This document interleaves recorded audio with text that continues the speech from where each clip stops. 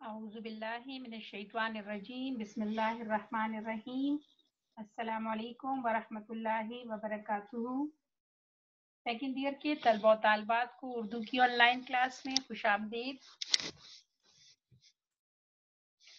आज Urdu online class में हमारा सातवां लेक्चर है।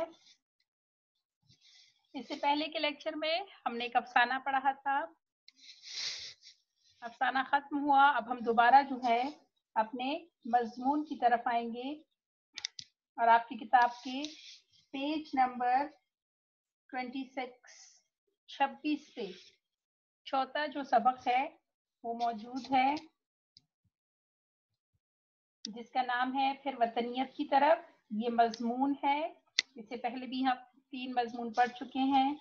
आज ये चौथा मजमून हम पढ़ेंगे। मौलाना सलाहुद्दीन अहमद का लिखा हुआ मजमून। जैसे कि आपको शुरू में बताया था कि किताब को मुख्तलिफ़ पोर्शन में तकसीम किया गया है। लिहाजा एक अफसाना पढ़ने के बाद हम दोबारा जो है एक मजमून पढ़ेंगे। मौलाना सलाहुद्दीन अहमद का पहले तारफ पढ़ लेते हैं। विलादत, यानी तारीख पैदाइश उनकी है 1906 1902 1902 और तारीख वफात उनकी है, उन्नीस सौ चौसठ 1964 मौलाना सलाहुद्दीन अहमद लाहौर में पैदा हुए वालिद का नाम मौलवी अहमद बख्श था। उन्होंने पंजाब नेशनल कॉलेज लाहौर से बी ए किया। वो इब्तदा से ही उर्दू जबान अदब के शैदाई थे, यानी पसंद करने वाले थे। उन्होंने तालब इलमी के ज़माने से ही एक रिसाला ख्यालिस्तान के नाम से जारी किया और 1934 में उन्होंने अदबी दुनिया की इदारत संभाली। और आखिरी दम तक इसी मरत इसी मरतब और शाया, इसे इसे मुरतब और शाया करते रहे, यानी ये जो रसाला है, इसी को शाया करते रहे। उनका एक अहम कारनामा अकादमी पंजाब का क्याम है। इस अंजुमन के तहत उन्होंने उर्दू के कदीम और नादिर किताबों को असर नौ शाया किया। वो उर्दू पढ़ो, उर्दू बोलो, तहरीक के सरखेल थे, यानी बनाने वाले थे, जिसकी वजह से उन्हें पंजाब का बाबाए उर्दू भी कहा जाता है। वो एक अला दर्जे के मकाला निगार थे। उन्होंने अदबी और कौमी मौजूद पर सैकड़ों मकाले लिखे। वो सेहत ज़बान और आसाइश, आरइश ज़बान का बहुत ख्याल रखते थे। बहुत से अदीबों ने अदब फ़न, अदब तनकीद का फ़न उनके जेर निगरानी सीखा। रिसाला अदबी दुनिया ने बहुत से नौजवान अदीबों और शायरों की रहनुमाई की। इनकी तसानीफ में तस्वरत इकबाल, असानी अदब, मोहम्मद हुसैन आज़ाद वगैरह शामिल हैं। ये जो हमारे पास मजमून है ये भी तस्वर अलामा इकबाल से लिया गया है तस्वरत इकबाल से लिया गया है जी और फिर इसका नाम है फिर वतनीत की तरफ़। जिसमें बताया गया है कि वतनीत का जज्बा जो है वो हमारे लोगों के लिए या पाकिस्तान के लिए कितना ज़रूरी है और ये है क्या चीज़? और इसमें यानी किसी भी आ, मिल्लत के कायम रहने के लिए वतनीत का जज्बा जो है वो कितना अहम हो सकता है? पेज नंबर 27 27 पर। पाकिस्तान के कयाम से पहले इस्लामिया ने हिंद के दिल जिस जज्बे से सरशार थे, वो वहदत मिल्लत का जज्बा था। और अगरचे इस जज्बे ने हमारे फ़िक्र शूर से वतनीत को यकसर मिटा दिया लेकिन यही जज्बा बिलाखिर हमारी कौमी वतन के, हमारे कौमी वतन के क्याम का बायस बना। ठीक है जी? यानी इस्लाम, जो पहले लोग थे, जो हिंद के रहने वाले, इस्लाम को मानने हिंद में रहने वाले और इस्लाम को मानने वाले थे, मुसलमान जो थे, उनके दिल में ये जज्बा था कि एक वहदत मिलत का जज्बा, यानी एक कौम का जज्बा जो है, हम कह सकते हैं कि उनके दिल में था कि हमने बस एक कौम बनना है, तमाम मुसलमान, और उनका ये ख्याल था कि मुसलमान जहाँ पे भी रह रहे हैं, बस वो एक कौम है, एक मिलत है, और हमें जो है तमाम दुनिया के मुसलमानों का ख्याल रखना है या एक मिल जाना है।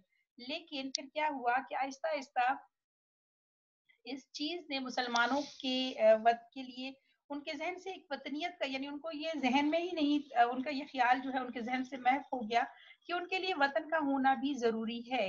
लेकिन फिर जब हालात बदले और दोबारा जो है जब मुसलमानों ने एक नई सोच से लेकर सोचना शुरू किया तो उनको पता चला कि नहीं छी जहाँ मिल्लत ज़रूरी है, वहीं पर एक वतन का क्याम जो है वो भी बहुत ज़रूरी है।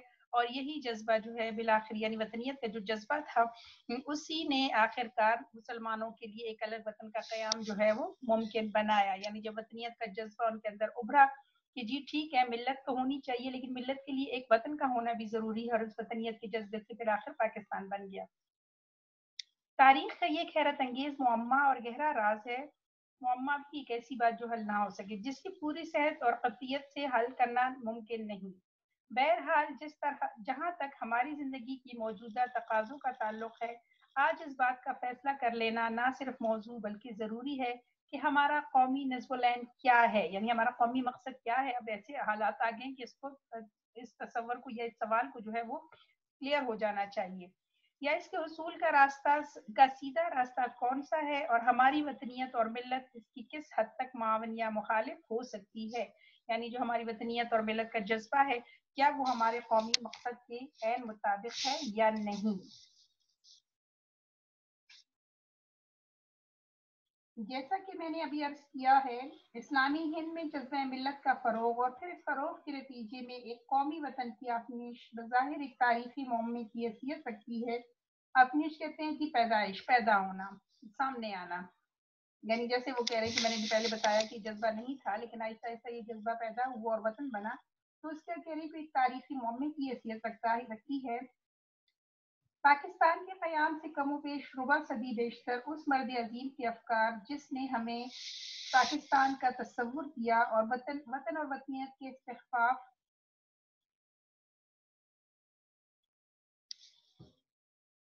को मुसलसल अप, को मुसलसल अपना महवर बनाए बना रहे थे। लेकिन जब मुफक्र इस्लाम ने अपने शायराना इल्हामात की मौजूदगी में एक वक्फा कलील के लिए मुसलमान हिंद की अमली सियासियात की तरफ़ अपनी तवज्जो मबजूल की तो उन्हें शुमाली, मगरबी, हिंदुस्तान में एक इस्लामी वतन की क़याम की दावत दी।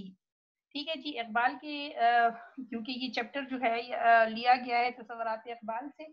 तो यहाँ पे वो बता रहे हैं, इकबाल के हवाले से ही बात हो रही है कि वो एक लंबे अरसे तक जिन्हों यानी इकबाल जिन्होंने हमें पाकिस्तान का तस्वुर दिया वो एक लंबे अरसे तक इस बात पे उनकी, अगर हम देखें शुरू की शायरी जो है, वो सिर्फ़ ये थी कि मुसलमानों को, तमाम दुनिया के मुसलमान जो हैं, वो एक कौम है, एक मिल्लत है और उन्हें अपनी मिल्लत के लिए ही, यानी मिल्लत के फ़ायदे के लिए मिल्लत से जो है, वो जुड़े रहना ज़रूरी है।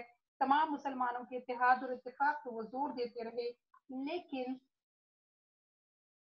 जब उन्होंने इस चीज़ को, यानी जब वो हिंदुस्तान में रहते रहते, जब इनको ख्याल आया कि सियासत की तरफ़ जब उन्होंने अपने कदम बढ़ाए, या हम कह सकते हैं जब उन्होंने सियासत में कदम रखा तो उन्हें इस बात का एहसास हुआ कि मुसलमानों के लिए जहाँ इतिहाद और इतफाक ज़रूरी है, एक, यानी अपनी मिलत के साथ या तमाम मुसलमानों के साथ जुड़ा रहना ज़रूरी है, वहीं पर उनके लिए उनका यह ख्याल था कि वहीं पर उनके लिए जो है एक ऐसी एक ऐसा वतन भी कायम कर देना ज़रूरी है, जहाँ वो अपनी आज़ादी से अपनी ज़िंदगी गुजार सके।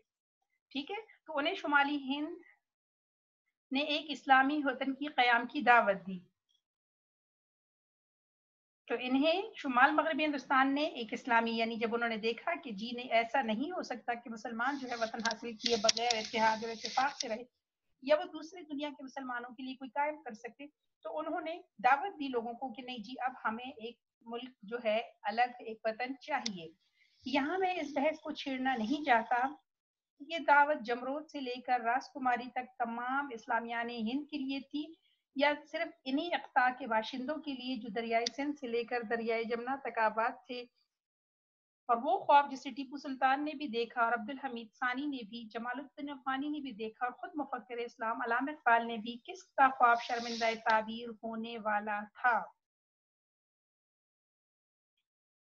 अच्छा जी यह कह रहे कि अब इस बहस में पढ़ना कि जी आ, क्या मुसलमानों के लिए मतलब इन जो उलमा थे या जो रहनुमा थे जो लीडर थे क्या उनकी तरफ़ से पहले ये तय हो गया था यानी सिर्फ़ कि वो सिर्फ़ जो है इन्हीं इकता इकता किता की जमा है, किता ज़मीन जिसको हम टुकड़ा कहते हैं, ठीक है जी? कि क्या सिर्फ़ वही टुकड़ा जो दरियाई सिंध से दरियाई जमुना तक आबाद है, क्या वो उन मुसलमानों उन मुसलमानों के लिए अलग वतन हासिल किया जाए? या जो है फिर तमाम मुसलमान जो दुनिया में जहाँ जहाँ आबाद हैं, उनके लिए एक अलग वतन का होना चाहिए। जिसका ख्वाब टीपू सुल्तान ने देखा, अब्दुल हमीद सानी ने देखा, जमालुद्दीन अफगानी ने इसके लिए बड़ा काम किया और खुद इस्लाम मुफक्र इस्लाम इकबाल ने भी। वो कह रहे कि इस पर मैं नहीं, बात नहीं करना चाहता, यानी ये एक और बहस छिड़ जाएगी कि जी, फलाने ने तो ये जगह के लिए ख्वाब देखा था, फलाने ने तो इसलिए कहा था। लेकिन इन तमाम से कत नज़र अगर हम अलामा इकबाल की बात करें तो अलामा इकबाल ने हिंदुस्तान में उन इलाकों में जहाँ मुसलमानों की आबादी ज़्यादा है, उनका ये ख्याल था कि जहाँ मुसलमानों की आबादी ज़्यादा है, उसको मिलाकर एक वतन जो है या एक मुल्क जो है वो कायम कर दिया जाए। लेकिन ये, लेकिन एक साफ़ बात बिल्कुल साफ़ और, लेकिन एक बात बिल्कुल साफ़ और आया है, और इसमें किसी शक व शोबे की गुंजाइश नहीं कि मिल्लत और मकासद मिल्लत के इम्कान फ़रोग के सिलसिले में जब शायर मशरक में जज्बात से अफकार की तरफ़ इनखराब किया। तो इसे मोमिन की तुर्क की तुर्कताजी के लिए, इस जहाज़ की वसत और इसके सीने के सफ़र के लिए, और इसके सफीने के सफ़र के लिए बहरे इम्कान के नापैद, नापैदा किनारियाँ बेकार और बेमायनी नज़र आई। अच्छा जी, यानी वो अच्छा अब वो क्या कह रहे हैं? कि ये एक अलग बहस थी कि कितना इलाका उनको चाहिए था या कौन सा इलाका चाहिए था, लेकिन वो कह रहे हैं कि एक बात इससे साफ़ ज़ाहिर है और इसमें कुछ शक नहीं कि जब मिल्लत और मकासद मिल्लत के,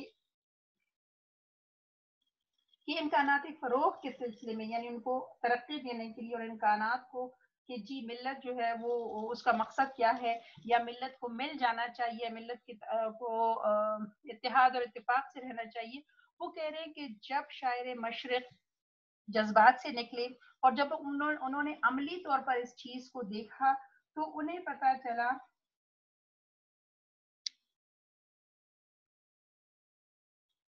कि मुसलमानों के लिए ये बात सोचना कि जी अब मुसलमान जो हैं वो सिर्फ़ यानी उनको इनखराब किया अफकार की तरफ़ इनखराब किया इनखराब कहना कहते हैं जी आ, दूर हटना यानी जब वो जब वो जज्बात से निकले, ठीक है, और उन्होंने हकीकत का सामना सामना किया तो उनको ये पता चला कि मुसलमानों के आगे बढ़ने के लिए ये वसतें जो हैं, ये कम है और इसके सफीने के सफ़र के लिए बहर अमका के नापैद किनारियाँ बेकार और बेमायनी नज़र आई। बहरे वे पाया सॉरी सफीने सफीने कश्ती को कहते हैं जी, बहरे इनका जो है बहर वैसे तो समंदर को कहते हैं, ठीक है, मुमकिन होना। यानी इस सफीने को, मुसलमानों को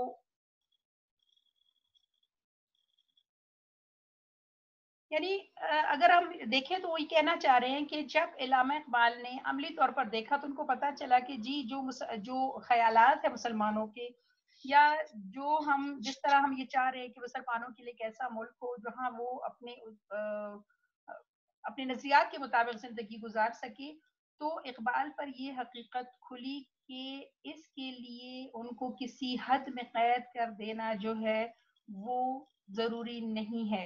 और उन्होंने कहा था कि इसने, और इसने अपने तारीखी खुद में मुसलमानों के इस मुल्क के शुमाल मगरबी कोने में एक कौमी वतन की तासीस तश्कील की दावत दी। शायर आसमान की बुलंदी और वसत से उतर कर ज़मीन के तंग टुकड़े के हजूर में मिलत और इसके मफाद को महसूर महदूद करने पर न सिर्फ़ आमादा हो गया, बल्कि इसी में उसको इसकी निजात भी नज़र आई। पहले इकबाल का ये ख्याल था कि जी मुसलमानों के लिए कोई कैद नहीं है, दुनिया में जहाँ कोई कलमा पड़े वो मुसलमान है और हमें अपनी मिलत के लिए काम करना चाहिए और इसमें कोई हद जो है वो कायम नहीं होनी चाहिए। लेकिन आहिस्ता आहिस्ता जब उन्होंने देखा, जब वो अमली सियासत में उन्होंने हिस्सा लिया और उन्होंने हिंदुओं के नारवा रवैया देखा, अंग्रेज़ों का उनका मुसलमानों के साथ रवैया देखा तो उनको ये एहसास हुआ कि नहीं जी, ये सिर्फ़ ख्याली या तस्वरात थे। उन, उनको ये उनको ये जहन में आया कि अब मुसलमानों के लिए एक वतन जो है, एक टुकड़ा ज़मीन का जो है, वो होना चाहिए और उसकी हदबंदी भी होनी चाहिए और वाकई में उनको लगा कि नहीं, मुसलमानों के लिए एक जो है, एक वतन का टुकड़ा होना चाहिए, जहाँ वो अपने मिल्लत और अपने फ़ायदे के लिए, अपने मिल्लत की, मजबूती के लिए काम कर सके। तो उनको ना सिर्फ़ इस पे आमादा हुए, बल्कि उसको फिर निजात नज़र आई मुसलमानों की इस चीज़ में, कि मुसलमान जब तक मुकम्मल तौर पर हिंदू और अंग्रेज़ों के कब्जे से आज़ाद नहीं होंगे वो ना तो अपने लिए कुछ कर सकते हैं और ना ही अपनी मिल्लत की बका के लिए कुछ कर सकते हैं। ठीक है? यानी मुसलमान उम्मत के लिए अगर कुछ करना है तो उनके लिए एक कत ज़मीन का होना जो है वो ज़रूरी उनके इकबाल के तस्वरत की जो हम कह रहे हैं ये हमें जो है मुसनफ़ बता रहे हैं, मजमून नगार बता रहे हैं कि किस तरह इकबाल की जो तस्वरत हैं, इकबाल के जो ख्याल हैं, उनमें तब्दीली हुई और वो ख्याल जो पहले ये सोचते थे कि कोई हद नहीं है, मुसलमान हर जगह मुसलमान है और वो जो है एक मिल्लत है अब उनके अफकार में तब्दीली हुई और अब उनको पता चला कि तरक्की के लिए, तरवीज के लिए मिलत की की बका के लिए ये ज़रूरी है कि मुसलमानों का अपना एक वतन हो। ज़मीन आखिर ज़मीन है और तखयल की हज़ार परवाजें हमारी आरजुओं की हज़ार रिफतें भी इसे आसमान नहीं बना सकती और हकीकत की दुनिया में हमें आसमान से ज़्यादा ज़रूरत भी ज़मीन ही की है। ताकि आसमान की बादशाहत ज़मीन पर कायम हो और अल्लाह ताला की ज़मीन पर इसके फरमा बरदार बंदे मुतसरफ होकर उसे अपना वतन बनाए, यानी उसको इस्तेमाल करे। और इस वतन की हिफाजत में अगर ज़रूरत पड़े तो अपनी जाने, अपनी माल और अपनी औलाद कुर्बान कर दी। यानी ये हकीकत थी कि इंसानों को रहने के लिए ज़मीन चाहिए और ऐसी ज़मीन का इख्ताब स्पेशली मुसलमानों के लिए, जहाँ वो अल्लाह के अहकाम को जारी रख सके और फिर एक वतन की हिफाजत के लिए अपनी जाने भी कुर्बान करनी पड़े तो कर दे। इकबाल ने जब हमें पाकिस्तान का तस्वुर दिया तो ये बिलाशुबा इसकी अफाकीर अफाकीर तस्वर मिलत से कोई नस्बत नहीं रखता था। ठीक है? यानी वो जैसे अभी आपको मैंने पहले बताया कि वो जो आफाकगीर था, यानी एक जिसके, जिनके, जिसके मुताबिक जो पहले उनका तस्वर था कि हद नहीं है और जो है मुसलमान जहाँ भी दुनिया में है, बस वो एक मिलत है। वो कह रहे हैं कि अगरचे वो इसको बिल्कुल भी कोई नस्बत, कोई ताल्लुक नहीं रखता था, लेकिन इसकी रुजत एक हकीकत पसंदाना रुजत थी। लेकिन फिर मुसनफ कह रहे हैं कि अगर हम इकबाल की अगर हम इकबाल के ख्याल में इस वापसी को जो है या बदल जाने का जो को देखें तो एक हकीकत पसंदाना वापसी उनकी है, रुजत कहते हैं वापसी को, ठीक है? क्योंकि मिलत, क्योंकि उनका, देखें ख्याल कुछ और थे, लेकिन हकीकत कुछ और थी, और जब वो हकीकत की तरफ़ पलटे तो उन्हें पता चला कि वतन जो है वो ज़्यादा ज़रूरी है। मिलत इस्लामिया हिंद को, मिलत इस्लामिया हिंद को अपने तहफ़ और अपने फ़रोग के तकाजे पूरे करने के लिए किसी बहरे बेपाया या किसी समंदर, या किसी आसमानी बेकरा की ज़रूरत नहीं थी। बल्कि एक ऐसे खत ज़मीन की हाजत थी, जिसमें समा कर या सिमट कर फैल कर या बट कर उसे एक आज़ाद इस्लामी ज़िंदगी बसर करनी थी। ठीक है जी, किसी बहरे बेपाया कोई बहरे बेपाया का मतलब कोई ऐसा समंदर जिसका कोई किनारा ना हो, और आसमान बेकरा भी बेकना हम कह सकते हैं बगैर किनारों वाला वसी, लंबा। के जिसकी समंदर बहरे बेपाया समंदर जिसकी तह तह बहुत गहराई में हो बेपाया जिस, जिसकी कोई हद ना हो गहराई की और आसमान बेकरार, जिसकी कोई किनारे ना हो। यानी उनको, जो पहले जिसका तस्वर था, वो नहीं चाहिए था, बल्कि उनको एक ऐसी ज़मीन चाहिए थी, जहाँ पर वो मिलकर रहे और एक आज़ाद ज़िंदगी बसर कर सके। उन्हें इस हकीकत का अंदाज़ा हो गया था। खुदावन ताला के फजल एहसान से हमारी ये ज़रूरत एक हद तक पूरी हुई। यहाँ इस बहस में उलझना बेसूद होगा कि हम में से कितने इस नेमत उजमा से बहरामंद हुए। नेमत उजमा एक बहुत बड़ी, एक बहुत बड़ी नमत से।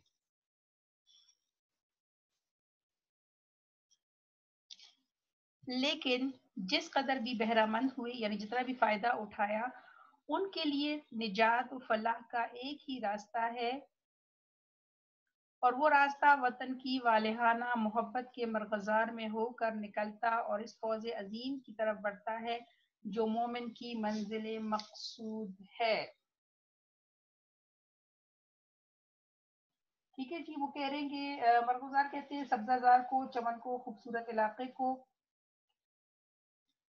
कह रहे हैं कि बहुत से, यानी ये इस किस, किसने इतने बड़े नमत से फ़ायदा उठाया, किसने नहीं उठाया, किस कदर उठाया, किस कदर नहीं उठाया, वो कह रहे ये एक अलग बात है। इससे, इसमें जो है नहीं पढ़ना चाहिए, लेकिन अगली जो बात है वो ये है कि उनके लिए निजात फलाह का एक ही रास्ता है और वो रास्ता उस वतन की वारहाना मोहब्बत के मरकजार में से होता हुआ इस फौज अजीम की तरफ़ बढ़ता है, जो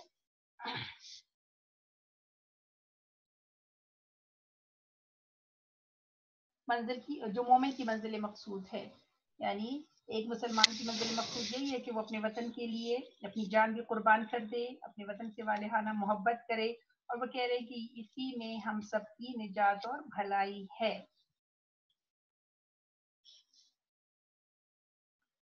जब अपने मिली मफाद की हिफाजत और अपने मिली मकासद के फ़रोग के लिए हमने एक वतन हासिल कर लिया है ख्वा वो हम सब के लिए काफ़ी है या नाकाफ़ी है तो मनतकी तौर पर हमारे लिए लाजिम हो जाता है कि हम इसकी हिफाजत इसकी तहफ़ और इसके फ़रोग को तमाम दीगर फ़रज़ पर तरजीह दे। मुंतकी है, यानी बिल्कुल ये आखिरी बात अब ये होनी चाहिए कि ये वतन जो है, जो हमने अपने मिली मिली मफाद और मिली मिली मकासद के लिए हासिल किया है, वो ये है कि अब हमारा फ़र्ज़ है कि हम इसकी हिफाजत करें और इसको तरक्की देने के को जो है कोशिश करे और इस कोशिश या इस फ़र्ज़ को दूसरे तमाम फ़रज़ पर तरजीह दे। क्योंकि ना सिर्फ़ हमारे अमाल हुसना, ना सिर्फ़ हमारे मकासद मिली बल्कि ख़ुद हमारी हस्ती, हमारी जाने और हमारे जिस्म, हमारे घर बार और हमारे मौाक़े और हमारे इम्कान इसकी सलामती से वाबस्ता है। ठीक है जी? यानी जब तक मुल्क कायम है तो हमारे मकासद भी कायम है, हमारी अपनी जाने, हमारे अपने जिस्म घर बार मौके सब कुछ जो है वो कह रहे हैं कि इस मुल्क से जुड़ा हुआ है और इसकी सलामती ही में हम सब की सलामती है। अगर हमारा वतन कायम रहेगा तो हमें खिदमत दीन। अगर हमारा वतन कायम रहेगा तो हमें खिदमत दीन और तामीर मिलत के मौके भी मिलेंगे। हम एलाए कलमतुल्लाह भी कर सकेंगे, यानी हम अल्लाह ताला के कलमे को बुलंद भी उस वक्त कर सकते हैं जब हम आज़ाद वतन में होंगे, हम अपने वतन के, अपने वतन के साथ साथ अपने दीन की खिदमत भी कर सकेंगे और हकूक इंसानियत भी अदा कर पाएँगे। ये सब कब होगा? जब हमारा वतन कायम रहेगा। लेकिन अगर खुदा न खास्ता वतन को जोफ पहुँचा जोफ नुकसान मुल्क पर आफत आई तो ना हम बचे रहेंगे और ना हमारी मुसलमानी और खाकिम बदहन मुल्क को, मुल्क का जवाल मिलत का जवाल बन जाएगा। खाकिम बदहन बदहन ये सब बोला जाता है, जब हम कहते हैं, अल्लाह ना करेंगे इसका मतलब होता है मुँह में खाक। ठीक है? मेरे मुँह में खाक, जैसे हम कहते हैं। कोई बुरा कलमा मुँह से निकलते हुए ये कह कहा जाता है कि अल्लाह ना करे ऐसा हो, मेरे मुँह में खाक, कि अगर ये मुल्क जो है, ये जवाल का शिकार हो गया, अगर ये मुल्क खत्म हो गया तो मिल्लत जो है वो खुद मिल्लत को भी जवाल होगा। ज़ाहिर बात है, इस्लामी मुल्क है, बहुत बड़ा इस्लामी मुल्क है और यहाँ पे इस्लाम की खिदमत जो है वो हो रही है। लोग जो है, एक लंबे अरसे तक अपनी दीन की खिदमत में मसरूफ है। वो कह रहे हैं कि अल्लाह ना करे कि ऐसा हो, लेकिन अगर इस मुल्क को कुछ हो गया तो मिल्लत जो है वो भी खत्म हो जाएगी। जहाँ तक इस बरजीम का ताल्लुक है, क़याम पाकिस्तान के बाद हमारा महाज यकसर बदल चुका है। अब वतन और मिलत की मफाद मुतजाद नहीं रहे, अलग नहीं रहे, ठीक है? वतन से ही मिलत जो है वो जुड़ी हुई है। बल्कि हम आहंग हो गए हैं, मिल गए हैं। और एक का फरोग दूसरी की तरक्की का जामिन हो चुका है। देखिए अगर मुल्क हमारा तरक्की करेगा, पाकिस्तान जो है वो एक इस्लामी मुल्क है। अगर ये तरक्की करते हैं तो मुसलमान तरक्की करेंगे और मुसलमान फिर दुनिया में जहाँ भी होंगे, उनके लिए फख्र का बायस होगा। या हम कह सकते हैं कि फिर दुनिया में यही कहा जाएगा कि देखें मुसलमान इतनी तरक्की कर रहे हैं तो वो मिलत की तरक्की जो है, वो भी हमारे मुल्क की तरक्की से ही जुड़ी हुई है। इसके साथ हम पर एक नई ज़िम्मेदारी भी आयद हो गई है और वो है एक करोड़ गैर मुस्लिम पाकिस्तानियों की ज़िम्मेदारी। वो गैर मुस्लिम जो पाकिस्तान में रह रहे हैं, इसके कह रहे हैं कि जहाँ मुसलमानों की ज़िम्मेदारी है, वहाँ पे गैर मुस्लिमों की भी ज़िम्मेदारी हमारे ऊपर है। ज़ाहिर है कि क़याम पाकिस्तान में उनकी किसी किस्म की आरजुओं ने हिस्सा नहीं लिया, लेकिन वो खुद ब खुद इसके हिस्से में आ गए। देखिए, जब पाकिस्तान बना था तो बहुत से ऐसे इलाके अभी भी मतलब वो पाकिस्तान में शामिल हो गए थे, जहाँ हिंदुओं की आबादी ज़्यादा थी। अगरचे उन्होंने पाकिस्तान के उसूल के लिए कुछ नहीं किया, बल्कि वो नहीं चाहते थे कि पाकिस्तान बने और उन्होंने कोई कोशिश नहीं की थी। लेकिन चूँकि वहाँ पे मुसलमानों की तादाद ज़्यादा थी तो जो हिंदू मौजूद थे, वो खुद ब खुद पाकिस्तान के हिस्से में शामिल हो गए थे। उन्हें मुफीद शहरी बनाने के लिए और उनके और अपने दरमियान एक बुनियादी हम आहंगी और हम मकसदी के लिए लाजिम है कि हमारे सामने एक मुश्तर नस्बुलैन हो, जिसकी तकदस से ना इन्हें मजाल इनकार हो और ना हमें ना हमें या राय इनखराफ, यानी वो भी इसका उस जो है, उसकी हिफाजत करने का वादा करे और हम जो है, हम भी ये कोशिश करें कि हम भी इससे दूर ना हटे।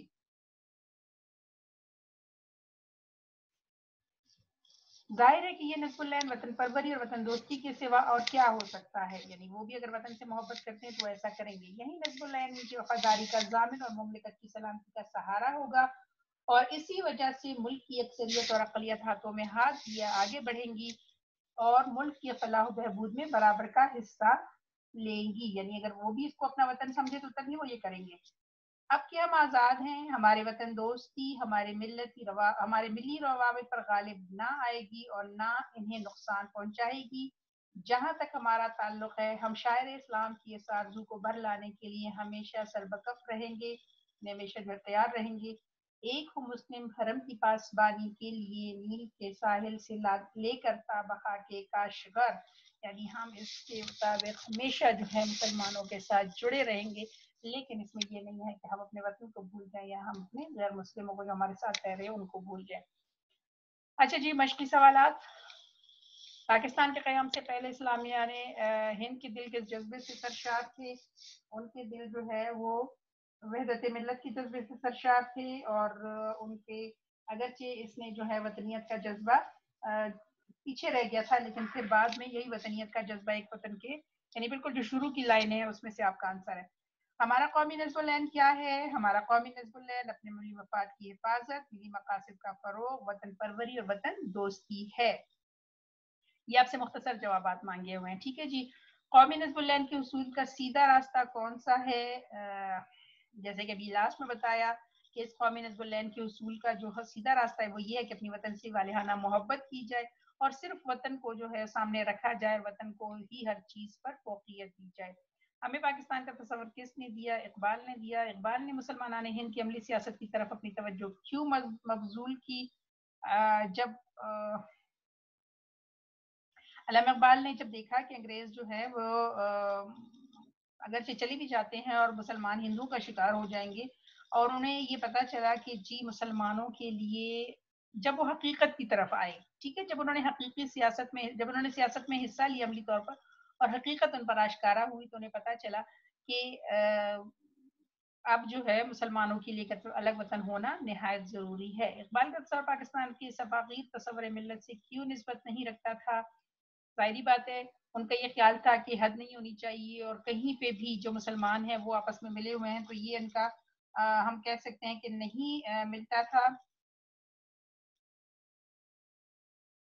और इनका ये ख्याल कि जो है मुसलमानों को हर जगह या तमाम दुनिया जो है मुसलमानों का मुल्क है। तो ये चीज़ जो है, ये तस्वर पाकिस्तान की सफागी तस्वर मिलत से नस्बत नहीं रखता जब हमने आज़ाद वतन पाकिस्तान हासिल किया तो बकौल मुसनफ़ा मनतकी तौर पर हमारे लिए क्या लाजिम है? वो कह रहे हैं कि जी, अब हम पर बिल्कुल ये लाजिम है कि हम अपने वतन की खिदमत करें, हम जो है इसकी हिफाजत करें और इसके आगे बढ़ने के लिए काम करें। टीपू सुल्तान सुल्तान अब्दुल हमीद सानी, सईद जमालुद्दीन अफगानी, राम इकबाल किस मुश्तर तस्वर के मुबलक थे? ये तमाम जो है इस्लामी वतन के क़याम के मुश्तर तस्वर के मुबलक थे। अच्छा जी, इसके बाद आपने मुफसल जवाब लिखने हैं। ये सारे सवाल आपके जवाब जो हैं आपके चैप्टर में मौजूद हैं। मजमून ने मजमून में मुसनफ़ ने किन अहम नुकात पर रोशनी डाली है?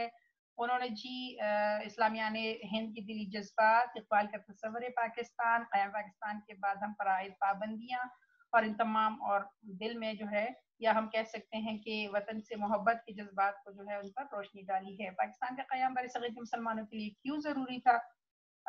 ताकि वो अपने लिए कैसे वतन हासिल कर सके, जहाँ वो अल्लाह ताला के कलमे को बुलंद कर सके और अल्लाह की ज़मीन पर अल्लाह ही का हुक्म के मुताबिक जो है वो हुकूमत कायम कर सके।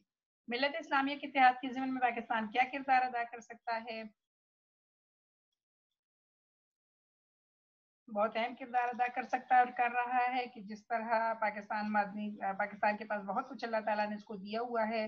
पाकिस्तान जो है वस्त एशिया के मुसलमानों, मुल्कों और अरब ममालिक के साथ दोस्ताना ताल्लुक कायम किए हुए हैं और एक ऐसी खत ज़मीन है पाकिस्तान जो बहुत अगर हम देखें जोग्राफियाई लिहाज से भी बहुत अहम है। तो इस तरह का अहम किरदार जो है वो अदा कर सकता है। बकौल मुसनफ़, हम क्यों कर हक अदा कर सकते हैं? आखिरी पैरा में आपने पढ़ा, आखिरी सॉरी नहीं, आखिरी नहीं था सेकेंड लास्ट था कि अगर हमारा मुल्क जो है वो कायम रहे हम आज़ादी से रहें तो तभी हम अल्लाह ताला का कलमा जो है वो बुलंद कर सकते हैं। अगर हम खुशहाल रहे और पाकिस्तान, ये थोड़ा सा आप तफसील से लिखेंगे, ठीक है जी? फिर एक हो मुस्लिम हरम की पासबानी के लिए नील के साहिल से लेकर ताबहा के काशगर ये शायर ये शेर, किस शायर का इस मजमून के तनाजर में शेर का मफहूम वाजे कीजिए। तो ये शेर जो है, ये अलामा इकबाल का है और जिसमें उन्होंने कहा है कि जी, इस्लाम का पैगाम दिया है। वो हर मुसलमान को मर्द मोमिन देखना चाहते हैं और इकबाल चाहते थे कि दरियाए नील यानी मिस्र के साहिल से लेकर चीन के सूबे चीन के सूबे काशगर तक जो है मुस्लिम अक्सरियत शहर जो उनका है काशगर वहाँ तमाम मुसलमान जो है इकट्ठे हो जाए और वो हर में पाक की हिफाजत का बेड़ा उठाए रंग नस्ल और जबान की तमीज मिटाकर एक जान हो जाए और वो जो है वो एक दूसरे का दुख दर्द महसूस कर सके। इसके अलावा आपके इमदादी अफवाल की निशानदही करनी है। इमदादी अफवाल आपको पता है वो फिल जो असल फिल के साथ मिला जा, मिलाया जाए। जैसे इसमें है पटख दिया। दिया जो है वो इमदादी फेल है। करने दो दो जो है वो करना, जो क्योंकि ये भी फेल है और इसके साथ एक और फेल मिल गया है तो ये दो। और इसमें गिर पड़ा पड़ा जाग उठा है। जागना भी फेल है और उठा जो है वो भी फेल है। जो मैंने सुना, वो मुझसे बयान नहीं हो सकता, होना और सकना, ये जो है, ये इमदादी अफवाल है इसमें। ठीक है जी, अब जो है, आपने इसको कर लेना है। इस मश्क के सवाल कर लीजिएगा। और इसमें से एक तशरी जो है, ज़रूर कीजिएगा, कोशिश करें इस चैप्टर को बार बार करें और अच्छे से उसमें जो है तशरी करने की कोशिश करें। अपनी दुआओं में हमें याद रखिए, बहुत सारा ख्याल रखिएगा अपने। लाफिज़